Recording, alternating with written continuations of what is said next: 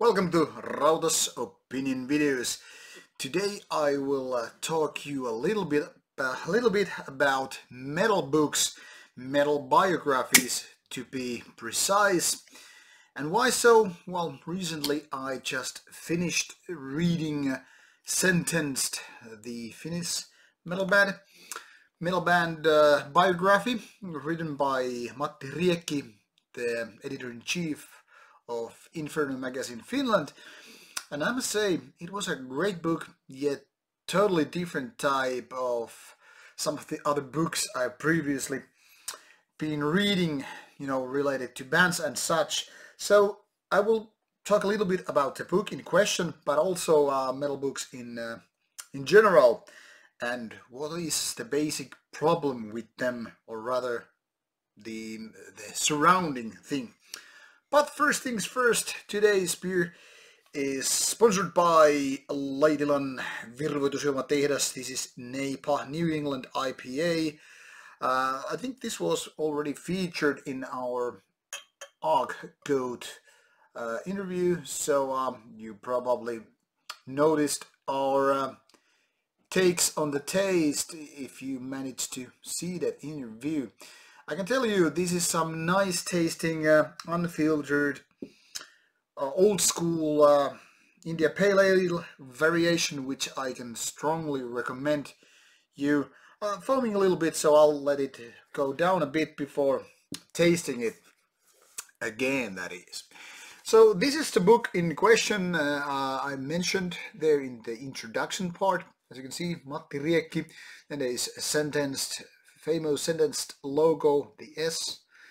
This is uh, Täältä Pohjoiseen, which means uh, north from here. Uh, the uh, sophomore sentenced album's story of sentenced. As you can see, this um, pocket book is uh, written in Finnish. And that's actually one of the things which I wanted to um, talk about today. But first, let's take a look on this book.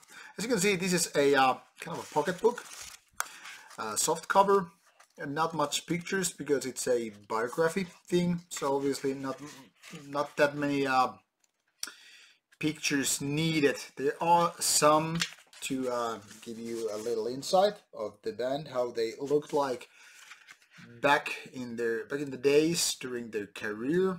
As you all probably know, uh, Sentenced was already buried a few years ago and uh, this is actually sort of a sad story no spoilers here.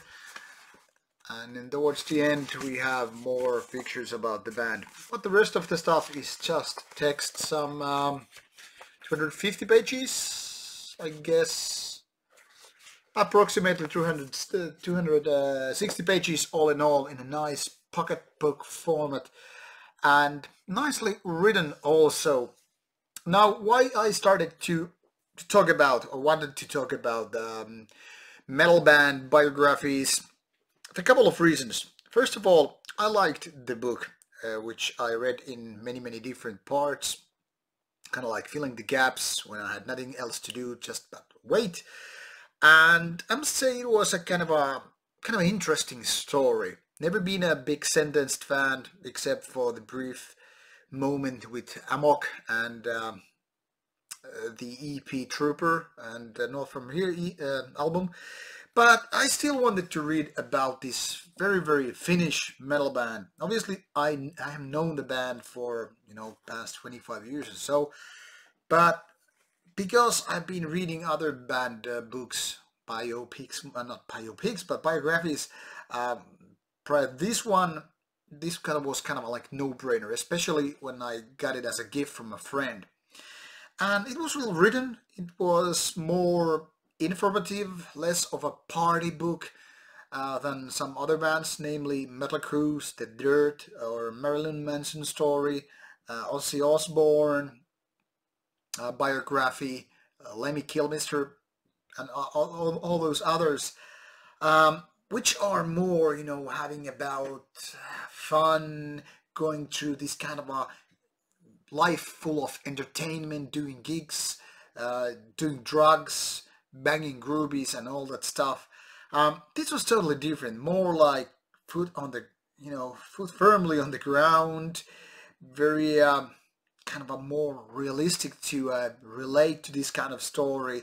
It's also a sad story, considering uh, what happened after the band kind of split up, and also there's kind of like, like this layer of melancholy covering the whole story it wasn't like this band was never having fun as such. Surely they enjoyed, you know, creating their music, writing songs, having those topics of death, suicide, suffering, and whatnot throughout the years.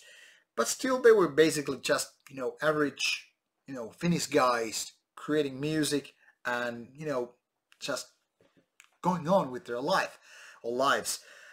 And as such, this is a very, very different kind of a story. More like a reading a kind of history book rather than, you know, book full of partying, what was basically Mötley Crüe book full of, well, some tragedies there also which we should not, you know, uh, forget, but still very, very different tone.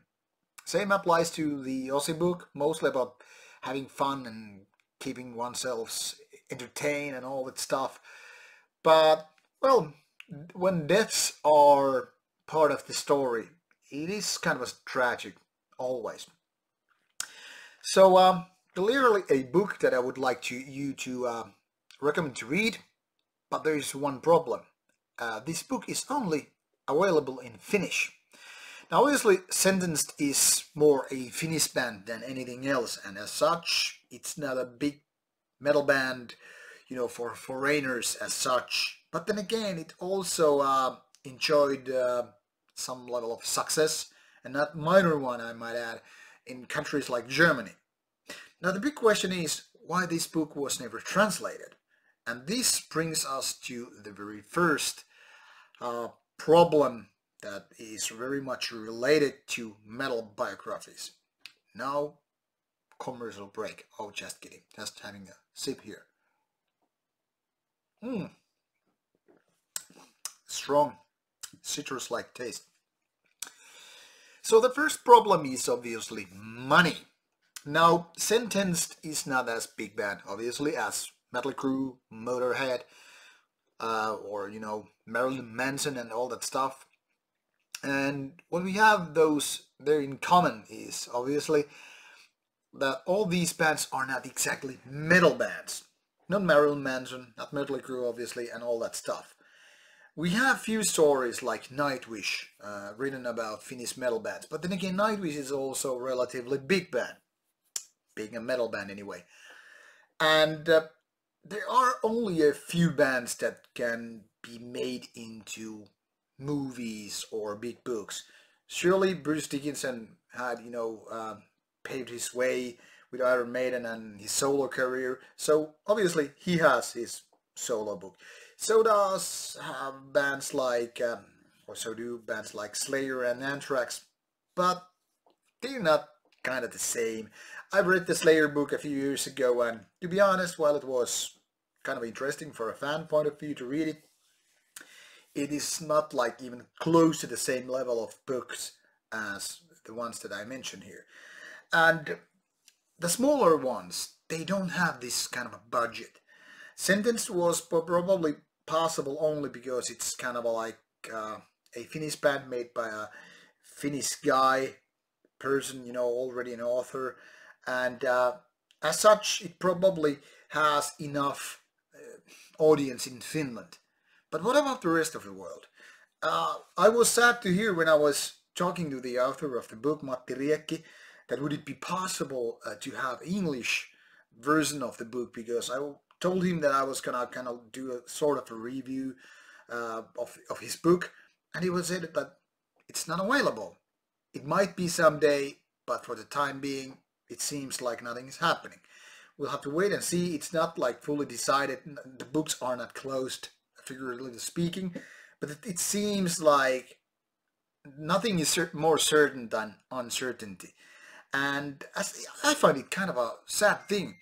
Now, obviously, most metalheads, what I know, including me, is that we don't read much books. For example, I read mostly magazines, fanzines and all that stuff. Uh, but when I read book, I actually go to uh, biographies, autobiographies or not, doesn't really matter. I find them very, very entertaining, informative, and all that stuff. More than fictional books anyway. For example, outside music that is, I was reading Jenna Jameson, the famous porn star, uh, biography, and it was very interesting. By the way, also written by the same Rolling Stone, Stone journalist slash author uh, Neil Strauss, who was also, you know, writing the Mötley book and uh, Marilyn Manson book. So with his kind of talent and name and all that attached, maybe it's easier. Obviously, it's easier when you are an American band and you have big success and all that stuff. But when we're talking about smaller names, especially like real metal bands, which are not that big, and the metal audience is not reading that much, then we find this problem. And I kind of find it sad. The same applies to whole metal journalism in, in general, because the thing is, people are not willing to pay, so every, everything is just, you know, uh, kind of expected to happen for free. And if there is no paying customers, if there is no audience that is just willing, like, take my money, I want to read the story, there is no journalism, there is no biographies, unless you're big enough and when there is, you know, you know, the critical mass that kind of makes all these stories possible. And I kind of find it sad because there are lots of interesting stories with metal bands. You don't have to be Iron Maiden or Metallica size. You can be way smaller and yet still have an interesting story, like Sentenced has over here. It's like I said, it's totally different kind and it's not written from the kind of entertainment point of view or aspect but that doesn't you know remove any any of the interest here what I'm talking about. So metal books are obviously very problematic. I mean we have strong fanzine culture be it black metal death metal or any even more obscure style. And even though we don't have uh, this kind of a strong journalism around more extreme metal in metal in general, talking about big and small names, doesn't matter. We have metal magazines worldwide. We have metal medias. Well, Rauta is being one in a way. But it seems like critical mass is not willing to spend. I'm not blaming any of you. That That's not my point here. But that kind of creates this, you know, uh, vicious circle since metal books or zines or, you know, magazine, magazines they are not selling enough. Uh, there is no funding for these kind of books or whatever level of journalism. And as such, these authors, these writers, they are not paid. They are not, you know, like, hey, would you like to, uh, you know, write a story about, I don't know, Impaled Nazarene or, I don't know, uh, some uh, Darkthrone, you know. So unless you're a really, really big band, and you have a kind of a compelling story to be told, it's not, not like anything is happening. And in this sense, metal people can actually blame a little bit, you know, on themselves. Like I said, we have this kind of strong fanzine culture being since, I don't know, 80s. And, you know, small group of devoted people are actually buying these and, you know, going to underground gigs. They keep the kind of a flame burning. They keep these bands, you know, touring, doing albums and whatnot. But if we need to take the step to the next level, so to speak, that is, have books or I don't know, documentaries with of quality, it's kind of impossible. Writing a book uh, is a huge load of work. I could not personally imagine taking such task to be done. I, I, I know I'm a kind of a skilled writer. I'm, I can say that much about myself because after all I've been doing writing for you know living in a way not you know doing books but anyway. But still you know dedicating a big part of my life for example write a metal book when there's barely no audience and that would demand uh, hundreds of hours of you know interviews and probably emails and whatnot. That's a great great task to be done. And that there are expenses that need to be covered you know just you know to pay the bills so it's kind of a difficult situation between a stone and a hard place. We kind of have this demand for this book, but we don't have the audience. And even if we have those books, would somebody be willing to take the risk and publish them or even translate? Now we have that Nightwish book out there and translated as well, but for example, bands like Sentenced, it's different level, of the different size and whatnot. And obviously the difference is the other band is still going on and touring and doing albums and the other band is just like finished and buried. And then there are like bands like Amorphis which are also active but they are not that big. So obviously there is kind of a problem with whatever. You either have this really small underground level of activity uh, or then you have to be really big.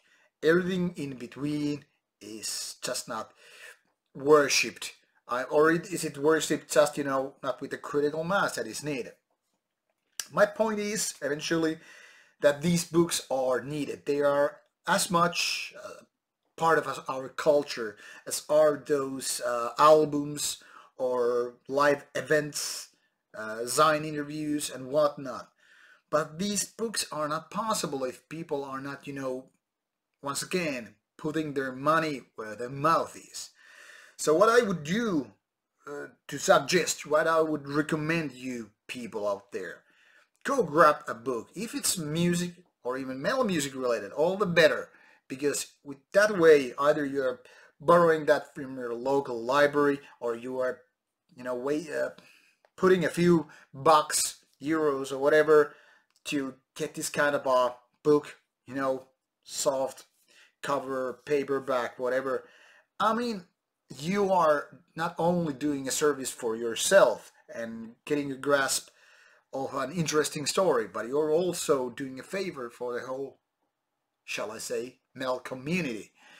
You are not only getting yourself informed about and learning about metal culture, you're actually enabling everything here to happen. Reading is good for you as much as any other form of art. I'm not just saying reading books is better than watching a movie or playing a video game or whatever. Just everything is good when it's informative, when it gives you a learning thing. But it's not like these smaller bands are gonna get into movies if they are not getting even into a book. So people, I encourage read. If it's zine or book doesn't matter, but read and uh, get enlightened, so to speak. These are my opinions. Are there any good books you would like to recommend to me or the other people on the channel which are worth our time, which are good stories or otherwise? Looking forward to your comments and meanwhile you're pondering your text, have, a, have yourself a good beer. This is one good, goddamn good candidate for your drinking pleasure. Until the next time, see you soon and bye-bye.